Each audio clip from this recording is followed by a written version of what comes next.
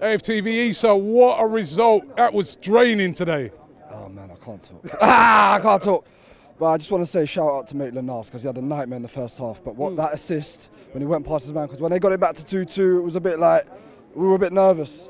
Remember, I said to you, I go with Maitland Niles. I go, I've seen him have other games this season where he started off shaky, but he grows into the game, and he did that tonight. Yeah, he did. But he's got to get out of his game. He's got to start quicker than that. It wasn't his fault. Like I kind of felt he wasn't getting support as well Yeah, down yeah. that side, and they noticed it and doubled up on him. Yeah. But second half, beat his man, put it into Aubameyang, and that was the tie done, man. And like like Johnny was saying there, you know, we got two elite strikers, and you know we've had a lot of uh, we've had a lot of bad times in the Premier League lately, and rightly so. And there've been times when we've I've fallen out of love with this club so many times over the last since we moved to the Emirates, since we left Highbury.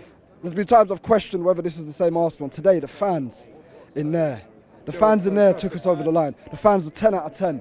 And when they were singing Rocky Rocastle's name, uh, like, bro, this is the Arsenal I know. This is the Arsenal I grew up with. Mm. And, and I hope they go to Baku. I hope they get the job done. And I'll tell you about the Arsenal I grew up with, yeah? That first Aubameyang goal, you know what it reminded me of? Alan Smith against Parma in 94. Brought it down on his chest, volley into the front post. It was exactly identical to that. And I'm hoping that they go to the final and do the same thing, man. Can we win it?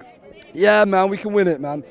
Like, I think we've kind of got it over Chelsea last few years. Obviously, beat them in the cup final, and and really should have beaten them away from home this season and beat them at home. So That's if they get there, but they ain't finished yet. there. What's the score, mate? Still one all. appa- appa- appa- apparently, uh, Frankfurt had a couple off the line in extra time twice. So you know, like at, at this point, we shouldn't fear no one.